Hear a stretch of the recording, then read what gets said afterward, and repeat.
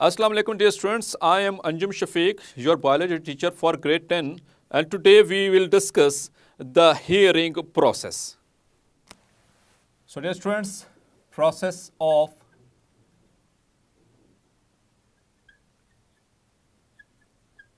hearing. It is important regarding long question as well as it may be asked in the short questions. तो इस mechanism को समझते हैं कि किस तरह से अल्लाह ताला ने हमें इस एक इतनी बड़ी नेमत से नवाजा। और ये इसका मैकेनिज़्म क्या है असल में, वो हम डिस्कस करने जा रहे हैं फ्लो चार्ट की शक्ल में, ताकि आपको याद रखने में भी आसानी हो और आपको समझने में भी आसानी रहे। So it starts from the sound waves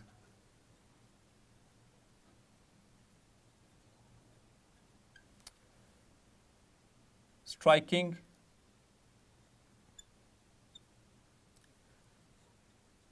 the pinna, the external ear part,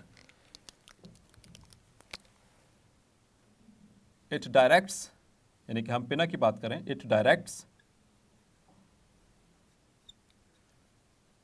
the sound waves towards yes my dear students किस तरफ़ डायरेक्ट करेगा बाहर की तरफ़ या अंदर की तरफ़ So, yes, you are right, towards the auditory canal. So, auditory canal में पहुँचने के बाद वहाँ पे travel करेंगी through the auditory canal and at the end of the auditory canal, which structure is present, dear students? Yes, that is eardrum. So, the sound waves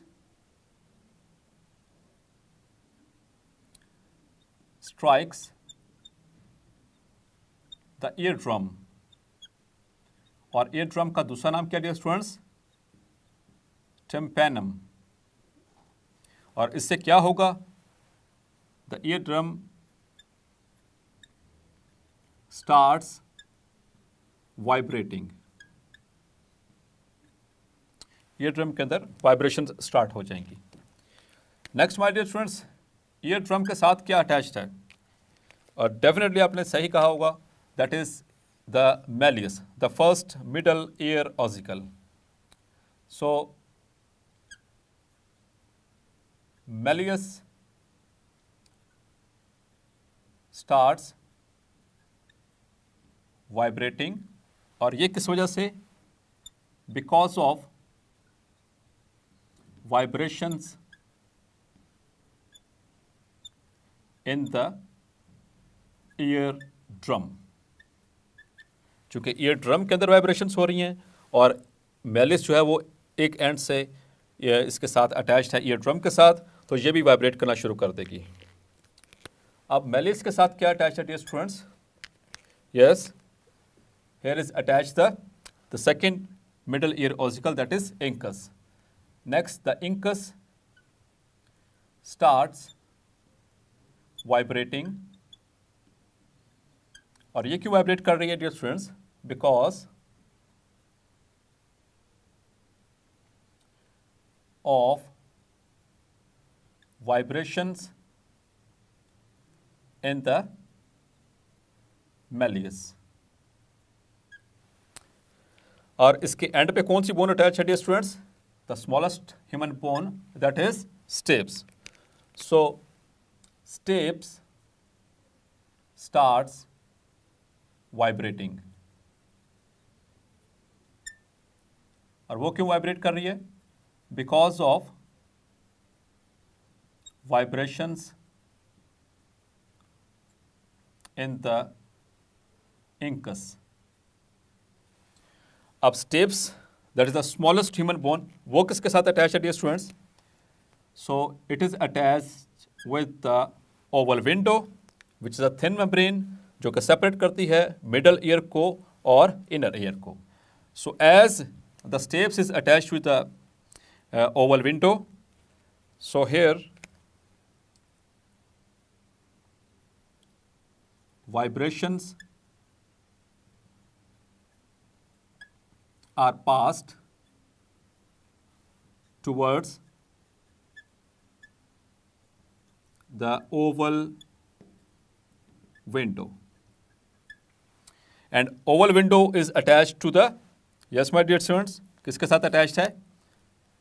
Yes that is vestibule so oval window जब vibrate करेगी तो उसके, वो किसके साथ attach है? Inner ear के साथ तो उनके अंदर भी स्टार्ट हो जाएँगी vibrations now the fluid present in the inner ear, vibrates. वो वाइब्रेट करेगा क्योंकि उसके साथ अटैच है ओवल विंडो इनर ईयर के साथ। तो जब वो वाइब्रेट करेगी तो उनके अंदर मौजूद जो फ्लूड है, वो भी वाइब्रेट करेगा। जब वो वाइब्रेट करेगा so these vibrations are move towards the receptors so vibrations in the fluid stimulates the hair cells. Yes, my dear students, ये hair cells क्या हैं? These are the hearing receptors और ये कहाँ पर मौजूद हैं? Present in the middle duct किसकी middle duct dear students of cochlea तो ये स्टिमुलेट होगी। When these receptors are stimulated यानी कि hair cells are stimulated the impulse यानी कि nerve impulse is generated and sent towards the auditory nerve. Auditory nerve कौन सी students? The vestibulocochlear nerve, the eighth cranial nerve. Auditory nerve and from auditory nerve this leads to the auditory nerve leads to the brain और वहाँ पर brain में कहाँ पर जाएगी dear students in the hearing area तो dear students अब आप जल्दी से मुझे बताएँ कि हेयरिंग एरिया कहाँ पर लोकेटेड है। Yes my dear students it is located in the temporal lobe of cerebrum the temporal lobe of cerebrum, not bellum, cerebrum, which is the part of forebrain. so, इस तरह से dear students हमें वो जब वहाँ पर auditory area में जाएगा और वो हमें साउंड परसीव होगी कि कोई बोल क्या रहा है। सो so, आपने देखा डियर स्टूडेंट्स कि किस तरह से साउंड वेव्स उन्होंने हिट किया। पहले पिना को फिर वहाँ से ऑडिटरी कैनाल ऑडिटरी कैनाल से साउंड वेव्स गई। टिम्पैनम पे टिम्पैनम से मेलियस वाइब्रेट हुई मेलिस वाइब्रेट हुई तो इंकस वाइब्रेट होगी। इंकस वाइब्रेट होगी तो स्टेप्स वाइब्रेट होगी, स्टेप्स वाइब्रेट होगी तो वाइब्रेशन प्रोड्यूस होंगी ओवल विंडो के अंदर, ओवल विंडो वाइब्रेट करेगी तो जो इनर ईयर के अंदर जो मौजूद है फ्लूड, वो वाइब्रेट करेगा। जब फ्लूड के अंदर वाइब्रेशंस होंगी तो वो स्टिमुलेट करेंगे हेयर सेल्स को, जो कि मौजूद हैं in the middle duct of cochlea. और जब वो स्टिमुलेट होंगे तो they will generate nerve impulse और वो नर्व इम्पल्स जो है वो ऑडिटरी नर्व के ज़रिए होती हुई पहुंचेगी। Towards the hearing area of the brain so dear students आपने देखा how this process is occurring 24 hours a day and seven days a week so it is a great blessing of Allah so Allah का इस पर हमें बेहद शुक्रगुजार होना चाहिए सो डियर स्टूडेंट्स एक और चीज़ इसी के साथ एक और इंपॉर्टेंट क्वेश्चन है that how ear maintains body balance very important question and very interesting question yes my dear students तो किस तरह से जो आ, कान है हमारे यानी कि ईयर्स वो हमारे बॉडी को बैलेंस करने में मदद देते हैं? तो डियर स्टूडेंट्स आपको आपको पता है कि इनर ईयर के अंदर तीन स्ट्रक्चर्स हैं कौन कौन से? सेमी सर्कुलर कैनाल्स वो कहाँ पर अटैच हैं? To the posterior surface of the vestibule और वेस्टिब्यूल किसके साथ अटैच्ड है? Towards the at the lower end with the cochlea तो यहाँ पर दो चीज़ें हैं, दो स्ट्रक्चर्स हैं इनर ईयर के अंदर, जो कि इन्वॉल्व हैं इन द बॉडी बैलेंस मैं बिल्कुल स्ट्रेट खड़ा हूँ तो that is just because of the inner ear वो जिस तरह से काम कर रहा है। So I'm going to explain it. So first of all, semicircular canals.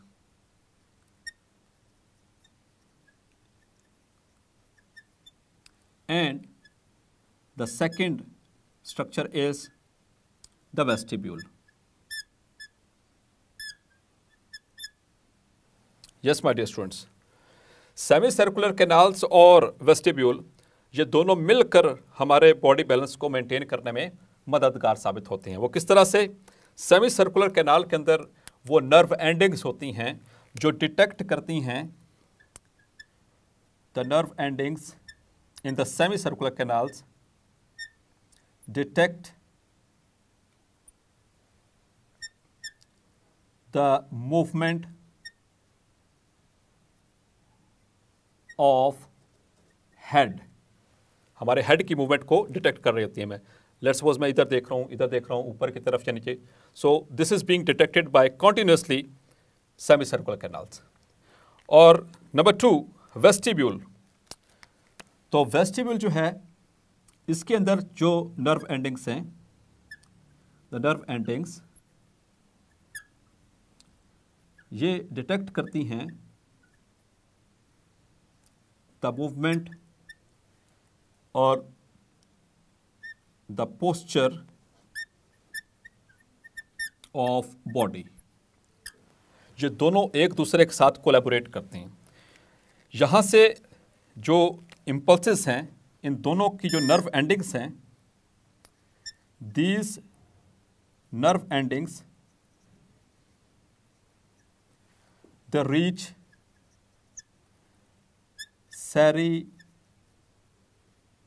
cerebellum. Yes my dear students आपको याद आया कि हाइंड ब्रेन के अंदर मैंने ये बात पढ़ाई थी कि जो हाइंड ब्रेन का जो पार्ट है cerebellum it is involve in maintaining the posture of the body the body balance वो किस तरह से बैलेंस कर रहा है? वो तो इंटरप्रेट कर रहा है ना सारी चीज़ों को कितनी एंगल पे और कितनी जो है वो मूवमेंट करवानी है। तो लेकिन उनको इन्फॉर्मेशन कौन दे रहा है? ये दो रिसेप्टर्स एक सेमी सर्कुलर कैनाल और दूसरा है vestibule that is the part of inner ear तो सेमी सर्कुलर कैनाल किसको डिटेक्ट कर रही है? हेड की मूवमेंट को। जबकि वेस्टिब्यूल किसको मेंटेन कर रहा है या डिटेक्ट कर रहा है that is the posture of the body तो ये मुसलसल दोनों इन्फॉर्मेशन जा रही होती हैं और ये एक दूसरे के साथ कोलेबोरेट होकर के through the auditory nerve through auditory nerve they reach the cerebellum और सैरिबेलम फिर उसको एवरी सेकेंड वो उसको इंफॉर्मेशन को देख रहा है। हम हर सेकेंड में मूव कर रहे हैं like this and like this तो आपने देखा होगा कि बाजू का तो जब चक्कर आ रहे होते हैं तो हेड की मूवमेंट जो है वो बॉडी पोस्चर के साथ कोलेबोरेट नहीं कर रही होती, वो बैलेंस नहीं हो रही होती। इसी वजह से जब चक्कर आते तो हम इधर उधर होकर के ऐसे गिर जाते हैं। उसकी रीज़न क्या है?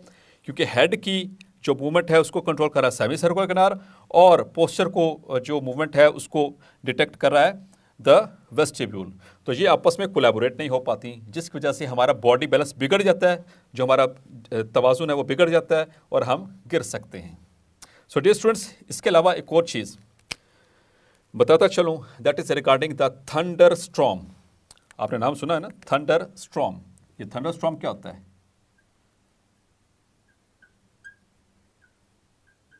जो थंडर स्ट्रॉम है, ये दो चीज़ों का बच हुआ है। एक thunder thunder basically it is a roar ये साउंड है जो कि बादलों के आपस में टकराने से पैदा होती है। और दूसरा जो स्टॉर्म है इट इज़ रिलेटेड यानी कि it is related with two parts the first part is thunder and the second part is lightning आपने देखा होगा बिजली चमकते हुए जब बादल आपस में टकराते हैं तो। सो so, स्टूडेंट ये दो चीज़ें मिलकर प्रोड्यूस करती हैं थंडरस्ट्रॉम अब ये कैसे होता है? इसका मैकेनिज्म आप प्रीवियस क्लासेस में भी पढ़ चुके हैं। लाइटनिंग किस तरह से होती है? कि जब अर्थ की जो सरफेस है सपोज़ जैसे अर्थ यहाँ से हॉट एयर वो मूव करती है ऊपर की तरफ़, आपने पढ़ा हुआ है?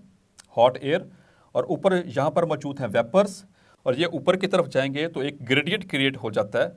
ऊपर टेम्परेचर जो है वो कम हो जाता है लो टेम्परेचर तो उस लो टेम्परेचर की वजह से क्या होता है कि जो वेपर्स हैं they are converted into ice जो वेपर्स हैं, वो किसमें कन्वर्ट हो जाती हैं? सॉलिड फॉर्म में इनटू आइस और वो जमा होना शुरू होते हैं and they form a cloud और उस क्लाउड के अंदर वो मुसलसल मूव कर रहे हैं। डियर स्टूडेंट्स आपने देखा कभी जब हम किसी चीज़ को रब करते हैं? जैसे आप देखें कॉम्ब को ऐसे रब करें या हाथों को रब करें, फिर उसका कागज़ के करीब करें तो कागज़ के टुकड़े उसके साथ अटैच होना शुरू हो जाते हैं। क्यों? क्योंकि जब हम रब करते हैं तो उसके अंदर एक चार्ज क्रिएट हो जाता है, जिसे हम इलेक्ट्रोस्टैटिक चार्ज कहते हैं। इसी तरह से जो बादल के अंदर मौजूद जो आइस क्यूब्स हैं, जो आइस पार्टिकल्स हैं, वो एक दूसरे के साथ रब करते हैं तो उनके अंदर प्रोड्यूस हो जाता है charge negative and positive charge इसके नीचे वाले हिस्से में प्रोड्यूस होता है नेगेटिव चार्ज बादल के, यानी क्लाउड के नीचे वाले हिस्से में नेगेटिव चार्ज और ऊपर वाले हिस्से में पॉजिटिव चार्ज तो इसी तरह से ये जब तक रगड़ होती रहेगी, ये चार्ज बढ़ता जाएगा बढ़ता जाएगा और स्ट्रांग होता चला जाएगा और जैसे ही हवाएँ चलेंगी, ये बादल आपस में टकराएँगे।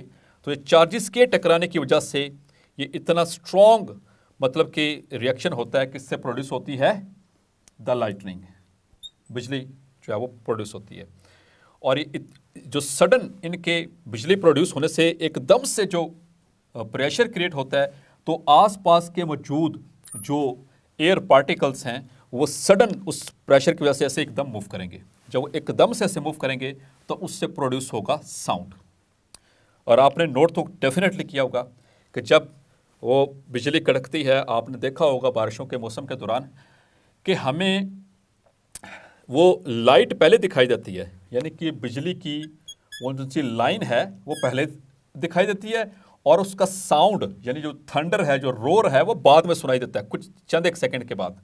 उसकी रीज़न ये है कि आपने पढ़ा होगा फिज़िक्स में डेफिनेटली कि जो लाइट रेस हैं, ये फास्ट ट्रेवल करती हैं in air as compare to the sound waves और आपने ये भी देखा होगा बाज़ अवत कि जैसे वो शादी ब्याह के ऊपर वो जो उनसे फायर वर्कस की जाती हैं तो आपको जब वो ऊपर जाकर वो फटता है जो फायर वर्क है तो हमें पहले नज़र आ जाता है उसकी उसकी जो सी लाइटनिंग है, लेकिन उसका साउंड हमें बाद में सुनाई देता है। तो रीज़न क्या डियर स्टूडेंट्स याद रखनी है। रीज़न ये है कि एयर मीडियम के अंदर, ख़ास तौर पर, जो लाइट रेस हैं, वो फास्ट ट्रेवल करती हैं as compare to the sound waves इसलिए हमें बिजली पहले चमकती हुई दिखाई देती है और उसके बादल के टकराने की जो उसकी आवाज़ है, यानी जो थंडर है, जो रोर है, इतना भयानक किस्म का जो आवाज़ प्रोड्यूस होती है, वो हमें चंद सेकेंड बाद सुनाई देता है। इस तरह डे स्टूडेंट्स कानों की हिफाजत करें। ये अल्लाह ताला की तरफ़ से बहुत बड़ी नेमत है। यहाँ पर हम हमने बात की थी कि मिडल ईयर से यहाँ पर यूस्टेशन ट्यूब आ रही है। यूस्टेशन ट्यूब का अगर इन्फेक्शन हो जाए, चूँकि ये आकर अंदर नेजल कैविटी में खुल रही है तो इसका अगर इन्फेक्शन हो जाए तो ये ऊपर को असेंड करके मिडल ईयर तक पहुँच सकता है। और मिडल ईयर में पहुँच कर ये इन्फेक्शन काफ़ी नुकसानदेह साबित हो सकता है। It may rupture the eardrum और इसी तरह से बहुत ऊँची शोर या जहाँ पर बहुत ज़्यादा नॉइज़ हो, ऐसी जगहों से भी बचें। ख़ास तौर पर जो ट्रेन के जो हॉर्न होते हैं, उससे बचें। वो बहुत उनकी फ्रिक्वेंसी तेज़ होती है। और एक रिसर्च के मुताबिक हमारे जो कान हैं, वो 110 डेसिबल्स तक की जो साउंड है, उसको सही तरह से परसीव कर सकते हैं। लेकिन उससे ऊपर की जो साउंड है उसको वो सही तरह से परसीव नहीं कर सकते। इसको आपने ये भी इस तरह से भी पढ़ा हुआ है कि कम से कम 20 हर्ट्स और ज़्यादा से ज़्यादा ट्वेंटी थाउज़ेंड हर्ट्स इस फ्रीक्वेंसी की साउंड हो तो हमें सुनाई देती है। इससे कम होगी तब भी हमें नहीं सुनाई देगी। इससे ज़्यादा होगी सुनाई तो देगी, लेकिन वो सिर्फ़ क्या होगा? नॉइज़ शोर और इससे ज़्यादा की फ्रीक्वेंसी का जो साउंड है डियर स्टूडेंट्स वो कानों के लिए इंतहाई नुकसानदेह है। सो डे स्टूडेंट्स देखा आपने कितना खूबसूरत मैकेनिज्म बनाया अल्लाह ताला ने हमारी कुत समात के लिए। होपफुली आपको समझ आ गया होगा कि हमें किस तरह से सुनाई देता है। अगले लेक्चर में मिलते हैं। तब तक अपना ख्याल रखिएगा। अल्लाह हाफिज़।